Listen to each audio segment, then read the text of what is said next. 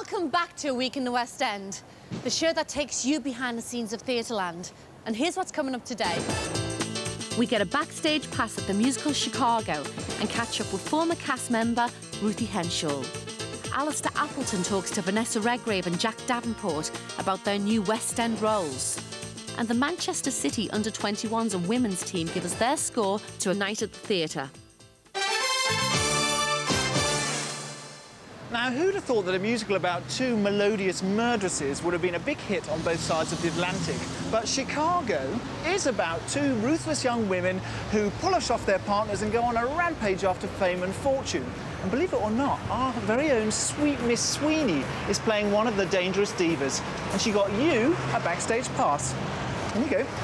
My baby, my baby and me, we're about as happy as babies can be. What find that I'm caught in a storm? I don't care, I'm there, and baby's bound to keep me warm. We're sticking together. Hello. This is my dressing room, and apparently Roxy's dressing room is one of the best in the West End. But I've got someone here who will tell us more about that. This is Ruthie Henshall, and she originated the role of Roxy Hart in what year?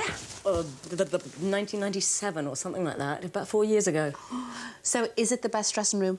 Yeah, it is. I mean, most dressing rooms in the West End are like the size of a cupboard. And uh, this one, as you know, has a huge bathroom too, like with a bath and a bidet, which is unheard of. Um, normally a nasty little shower with mould on the curtain, and that's it. The wonderful thing about the part of Roxy is you really can bring yourself to it. Roxy has just oodles of room for mm. being able to just bring your cheekiness and whatever your personality is. And is that what you like most about the role? The Yeah. freedom? The I mean, it's the. Velma and Roxy. There's a lot of freedom with both, isn't there? Very much so, but I think with Roxy, it's much more the, the acting role. Mm. I think Velma's the kind of like show busy, you know, you get the entrances and the mm. exits and the one liners and that kind of thing.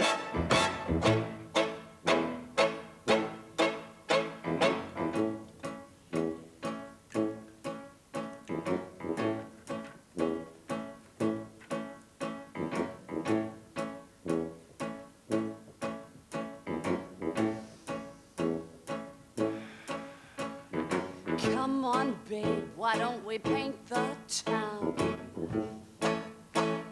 And all that jazz, I'm gonna rouge my knees and roll my stockings down. And all that jazz, start the car. I know a whoopee spot where the gin is cold, but the piano's hot. It's just a noisy hall where there's a nightly brawl that jazz. Very strange. Welcome back. Oh, wow. Is it the same? Yeah, it is. But you know what? I'd have forgotten how big it is backstage. This is actually much bigger than I remember it. The good thing about this show is it's not about the sets or the costumes, is it? No. Everything's black and simple. I mean, in fact, there's absolutely hardly any set. It's just a bandstand. And no one changes costumes except Roxy and Velma. But come and have a look at some of the things we use. It's just chairs, bowler hats, and this is the main thing that Roxy uses. Roxy rocks Chicago! Get the picture, and also just observe the fact that we're not actually sure what language it's written in. But you know, you're standing there with your paper, reading a load of rubbish. There's a load of rubbish. Roxy rocks Chicago. I think one of my favourite numbers in the show has got to be All I Care About Is Love with the Feathers. Oh, Remember that? Yes. The fans. Such beautifully simple. Uh, Absolutely just gorgeous, isn't it? So works. Hit it!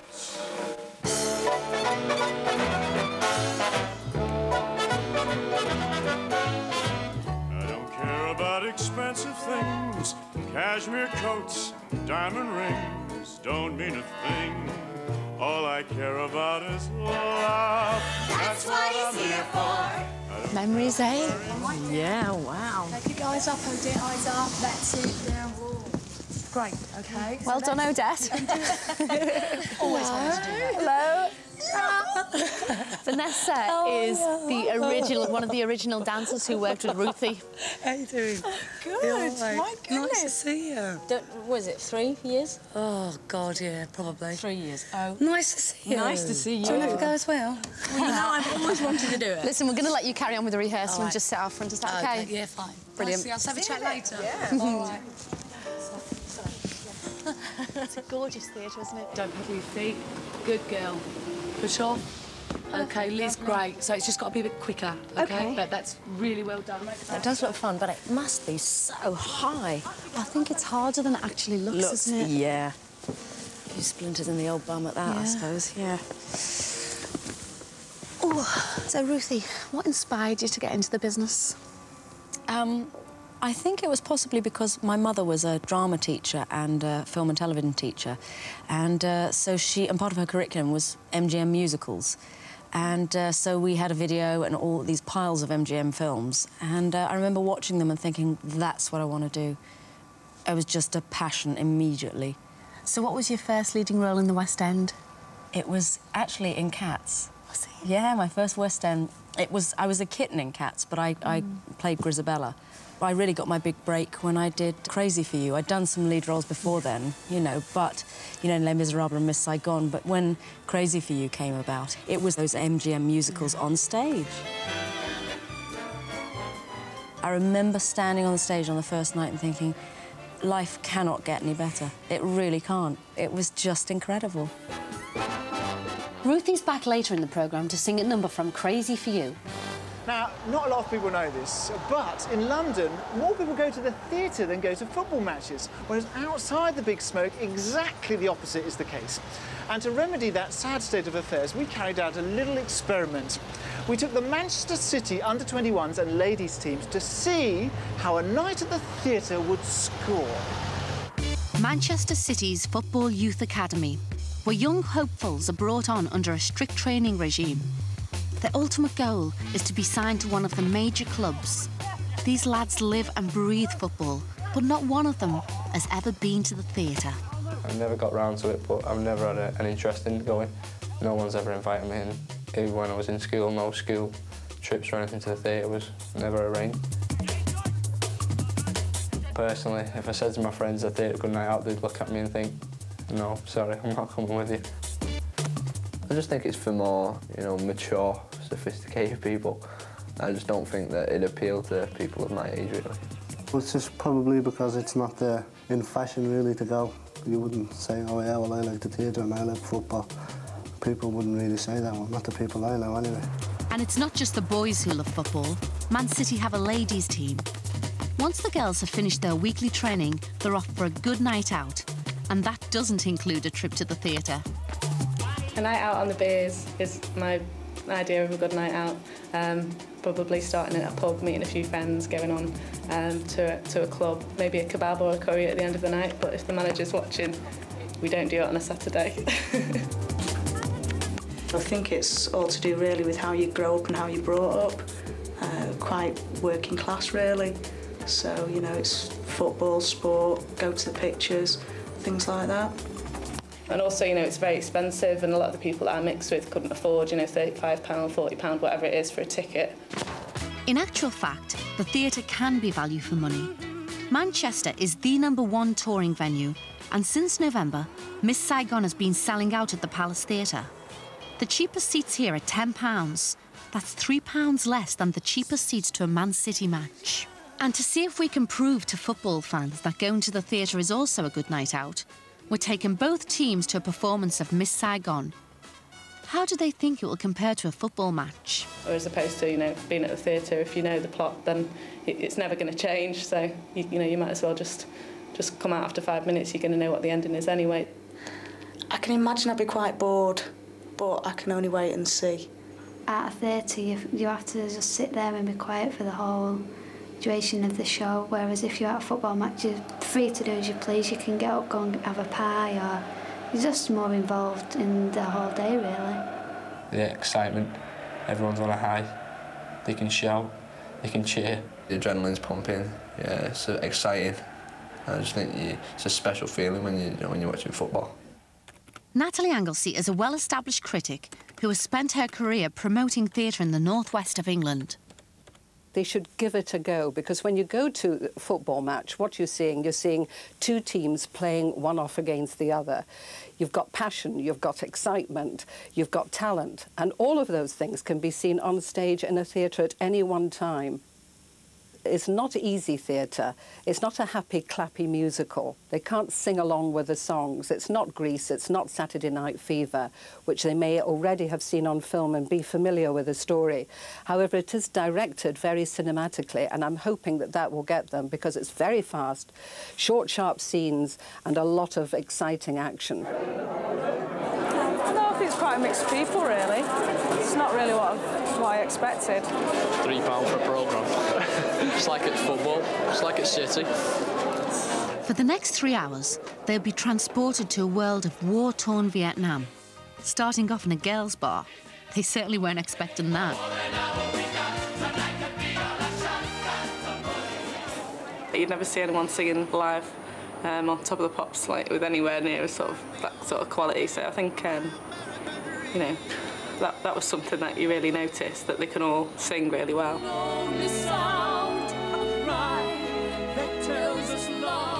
Thought the performance from everyone was really good, especially the engineer. He, he brought a bit of humour to it as well. The scenery was good. I liked the helicopter and the car when that came out. I thought I'd find it boring, but actually found it quite interesting. Didn't expect it to be too brilliant, but it was superb. I don't think it's as, it's better than football, but you know I enjoyed it and uh, it's a good experience, and I, I'd come again. I think. So the Olivier Awards are on Friday. We're giving you the chance to vote for your favourite show. Here are the four nominations. Cats. Based on a series of poems by T.S. Eliot, Cats opened in London 21 years ago. It's the longest running musical in both West End and Broadway history. If you want to vote for Cats, call 09001 44 7701. 09001 44 7701.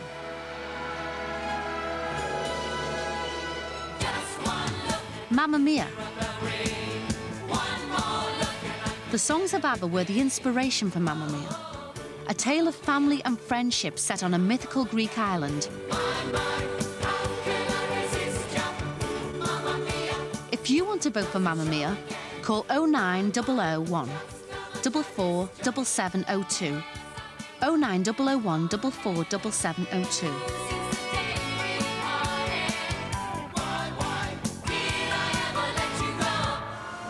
The Phantom of the Opera. The Phantom of the Opera opened in 1986 at Her Majesty's Theatre, where it has played over 6,000 performances. Set in the Paris Opera House, it's a story of unrequited love. If you want to vote for Phantom of the Opera, call 09001 44 7703. 09001 44 7703. We just get like a rhythm going, you know? And finally, the Reduced Shakespeare Company.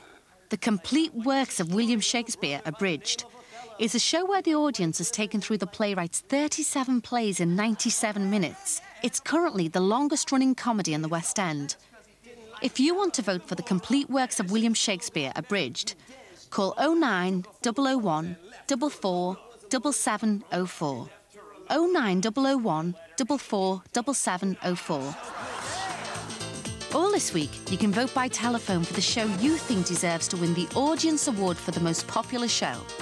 Calls cost a maximum of 10 pence, and lines will close on Thursday at 5 pm, and the results will be announced on Friday's programme. Performing in a show eight times a week can be physically exhausting. I can speak from experience on that. But as an audience member, you deserve the best performance for your money. So if you come to see a show specifically for the star, what are your rights if they're off? You've seen Denise Van Outen shimmying in Chicago, Daryl Hannah scratching her seven-year itch, and Anna Friel in Lulu. Kathleen Turner, Nicole Kidman, Jerry Hall, and Linda Gray have all been seen on the London stage bearing significantly more than their souls.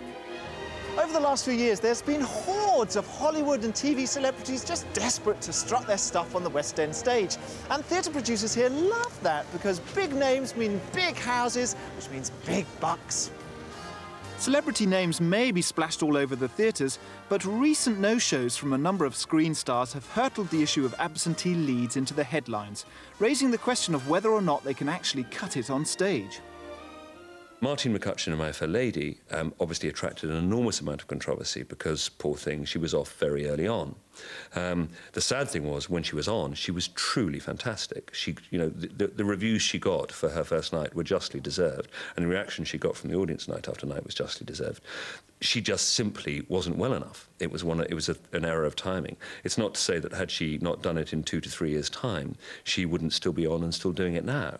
It was one of those things she just didn't have sufficient time to recover there's an incredible amount of responsibility having your name above the title of the show. And of course, everyone expects you to be there because they're buying tickets to see you perform. Uh, from the other side of things, I'm expecting to be there too, but of course, you're only human and there are some shows that you miss. We go to great lengths to try and contact people if we know our leading artists are not going to be. And if they're billed artists, if they're people whose names are above the title, we'll advertise in the newspapers, classified ads, display ads. We'll try and contact people if we have telephone numbers. And then there's always the last resort of the, of the large sign in the foyer. I still get letters now saying, I came to see the show and you weren't there, and I feel terrible because some of them are coming in from all around Europe or travelling down from Scotland. They've organised time off work and hotels, and I just can't imagine how disappointing it would be. I also had friends that had flown all the way from Australia to see me perform, and I had to say to them, I can't go on because I'm too sick, because at the end of the day, I don't want to give the rest of the audience a bad show either. I think you've got a responsibility to do your best. So, sickness has struck and you're not going to see the superstar you wanted to. So, can you get your money back? We offer people refunds in advance. Where it's difficult is if people come to see the show, elect to come in and see the show, and then say afterwards, she wasn't on, I want a refund. Invariably, if you question those people and you say, you know, did you actually enjoy the show? They go, well, yes. Did you have a good time? Yes. Well, in that case, why are you asking for your money back? Remember, theatre is a glittering, illusionary, but also deeply human endeavour. And human performers sometimes get sick, so while the show must go on, it'll sometimes go on without your favourite star. But that's a risk that you take. And hey, you never know, the understudy might be a star in the making and you will have seen their first performance. Ray!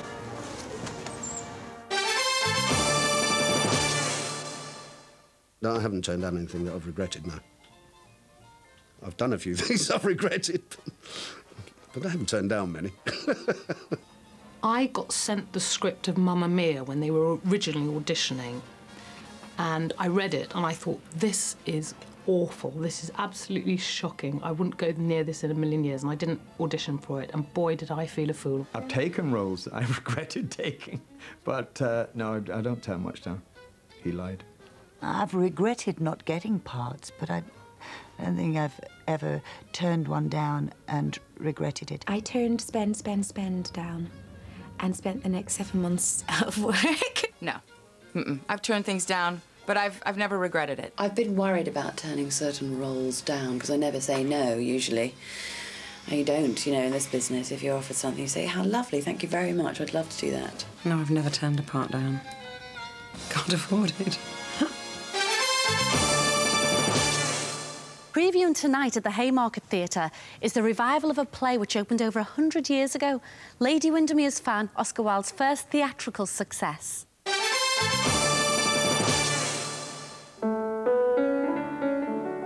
Wilde died in 1900, yet his plays are as popular as ever with audiences and actors alike. We join Sir Peter Hall's star-studded cast rehearsing for a play that comments on Victorian social values it's a story about what a mother is prepared to sacrifice for her daughter. Lady Windermere's Fan was written in 1893 and it was Oscar Wilde's first major success. And I think I can see why. I love this play. It's very, very, very unusual for that period, and I think it's still pretty deep. I think that it's a play that's compelling and interesting to put on now, as opposed to 1893. It's about loyalty and it's about betrayal.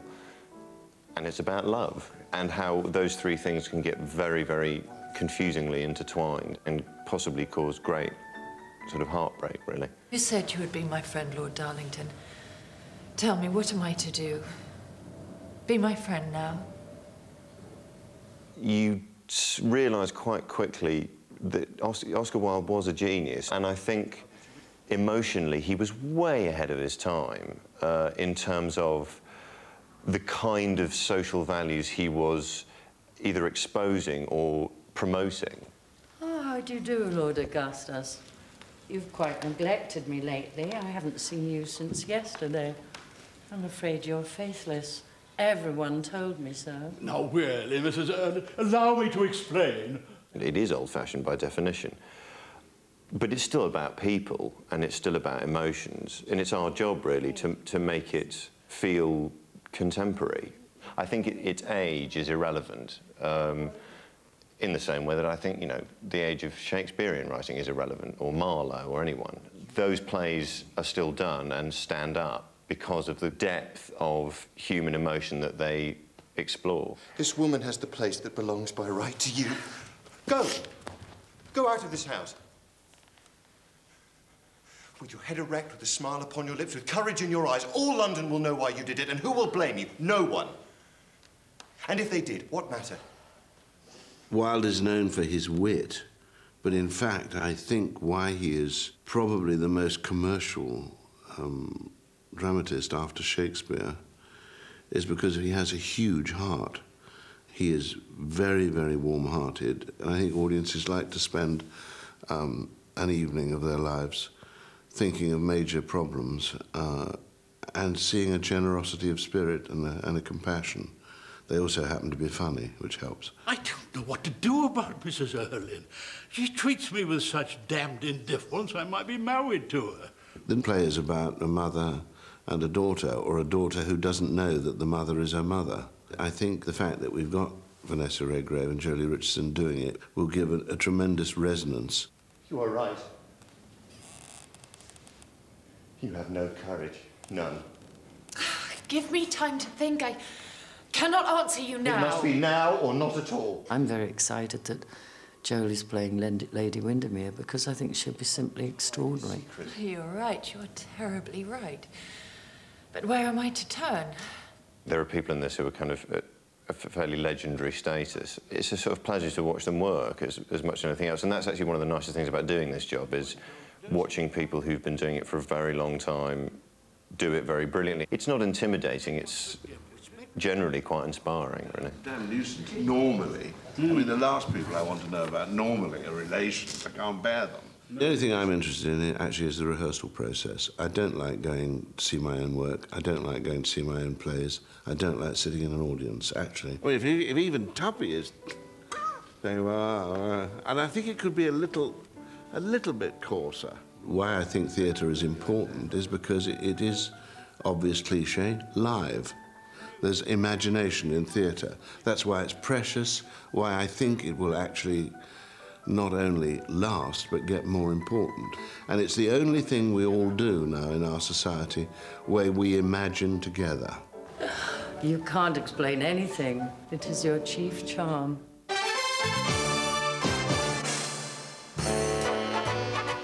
Now, we're giving you the chance to win tickets for a top West End show if you can answer this question.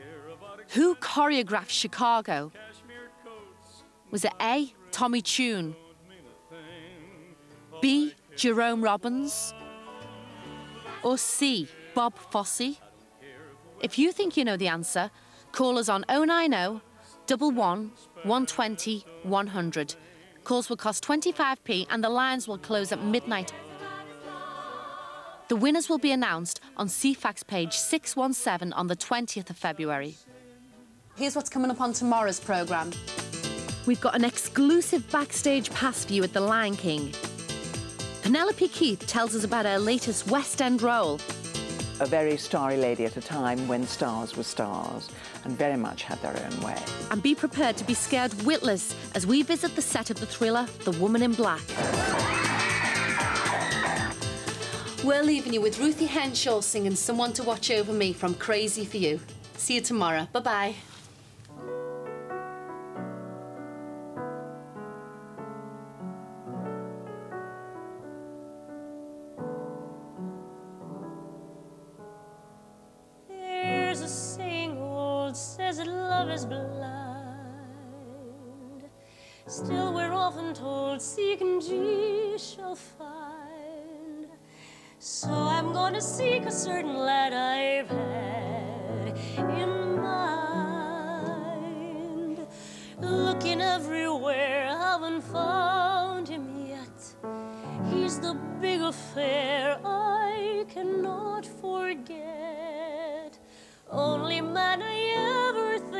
With regret.